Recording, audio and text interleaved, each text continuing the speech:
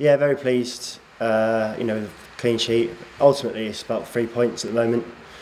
Um, but if we can do it with a clean sheet, then even better. Um, it's uh, like it's all about getting the getting the getting the results at the moment, and and performances uh, are secondary really. But you know, the, in general, they've been coming, um, and we're playing with a lot of confidence at the moment. So long may that continue.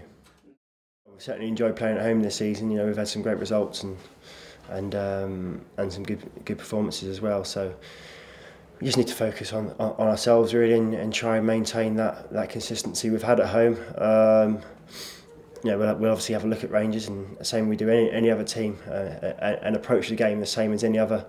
Um, I'm sure you know they'll do, they'll do the same. They'll uh, you know the, the, the fans certainly you know will, will enjoy the day I'm sure and the players will enjoy the atmosphere but um, we'll, we'll approach it the same as any other game and, and hopefully pick up three points.